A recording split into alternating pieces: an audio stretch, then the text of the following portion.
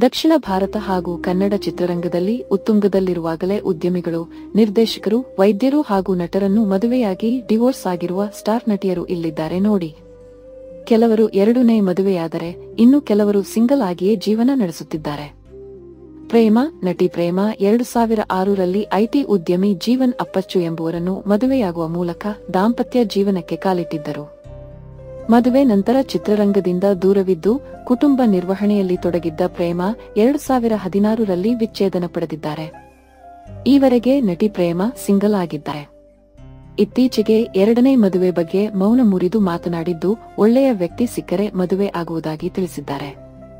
ನಿಧಿ ಸುಬ್ಬಯ್ಯ, ಕನ್ನಡ ಚಿತ್ರರಂಗದಲ್ಲಿ ಪಂಚರಂಗಿ ಸಿನಿಮಾದ ಮೂಲಕ ಬೆಳ್ಳಿ ತೆರೆಗೆ ಬಂದ ನಿಧಿ ಸುಬ್ಬಯ್ಯ ಮೊದಲ ಸಿನಿಮಾದಲ್ಲಿ ಯಶಸ್ಸು ಕಂಡಿದ್ದರು. ನಂತರ ಹಲವು ಸಿನಿಮಾಗಳಲ್ಲಿ ನಟಿಸಿ ಬಾಲಿವುಡ್ ಅಂಗಳಕ್ಕೂ ಹೋಗಿ ಬಂದಿದ್ದಾರೆ. ನಂತರ ಲವೇಶ್ ಎಂಬ ಉದ್ಯಮಿಯನ್ನು ಎರಡು ಸಾವಿರ ಹದಿನೇಳರಲ್ಲಿ ವಿರಾಜಪೇಟೆಯ ಖಾಸಗಿ ರೆಸಾರ್ಟ್ನಲ್ಲಿ ಮದುವೆಯಾಗಿದ್ದರು.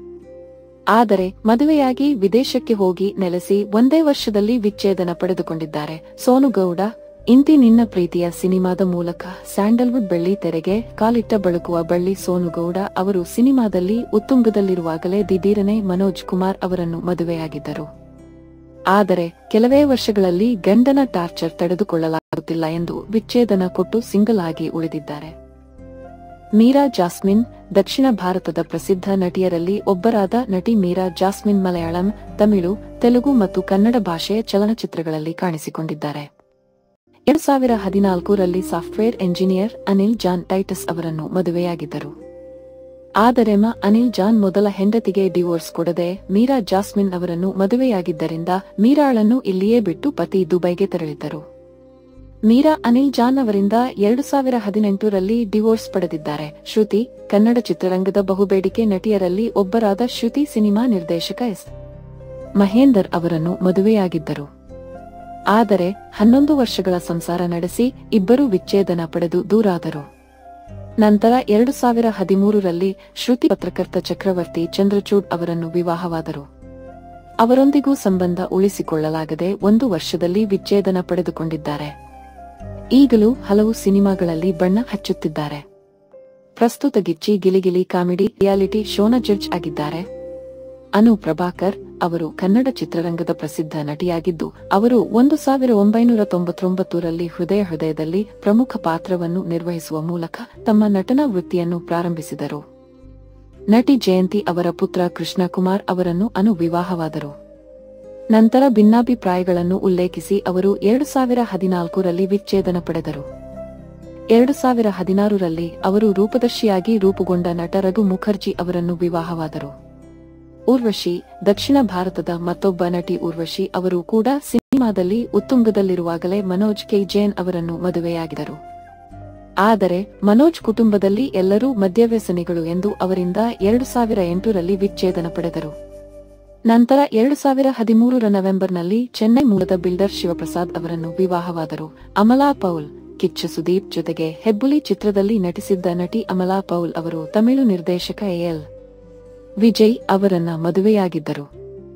ವಿವಾಹವಾದ ಮೂರು ವರ್ಷಗಳಿಗೆ ವಿಚ್ಛೇದನ ಪಡೆದರು. ಇತ್ತೀಚೆಗೆ ಜಗತ್ ದೇಸಾಯಿ ಅವರನ್ನ ಅಮಲಾ ಪೌಲ್ ಮದುವೆಯಾಗಿದ್ದು ಮಕ್ಕಳಿಗೆ ತಾಯಿಯಾಗಿದ್ದಾರೆ. ಸುಧಾರಾಣಿ ಕನ್ನಡ ಚಿತ್ರರಂಗದಲ್ಲಿ ಸ್ಟಾರ್ ನಟಿಯಾಗಿದ್ದ ಸುಧಾರಾಣಿ ಕನ್ನಡ ತುಳು ಮತ್ತು ತೆಲುಗು ಭಾಷೆಯ ಚಿತ್ರಗಳಲ್ಲಿ ನಟಿಸಿದ್ದಾರೆ. ಸಿನಿಮಾದಲ್ಲಿ ಉತ್ತುಂಗದಲ್ಲಿರುವಾಗಲೇ ಯುಎಸ್ ಮೂಲದ ಅರಿವಳಿಕೆ ತಜ್ಞರಾದ ಡಾ. ಸಂಜಯ್ ಅವರನ್ನು ಒಂದು ಸಾವಿರ ಒಂಬೈನೂರ ತೊಂಬತ್ತಾರರಲ್ಲಿ ವಿವಾಹವಾದರು. ನಂತರ ದಂಪತಿ ನಡುವೆ ಭಿನ್ನಾಭಿಪ್ರಾಯ ಮೂಡಿ ಒಂದು ಸಾವಿರ ಒಂಬೈನೂರ ತೊಂಬತ್ತೆಂಟರಲ್ಲಿ ವಿಚ್ಛೇದನ ಪಡೆದರು. ನಂತರ ಎರಡು ಸಾವಿರನೇ ಇಸವಿಯಲ್ಲಿ ಗೋವರ್ಧನ್ ಎನ್ನುವವರನ್ನು ವಿವಾಹವಾಗಿ ಸುಖ ಸಂಸಾರ ನಡೆಸುತ್ತಿದ್ದಾರೆ.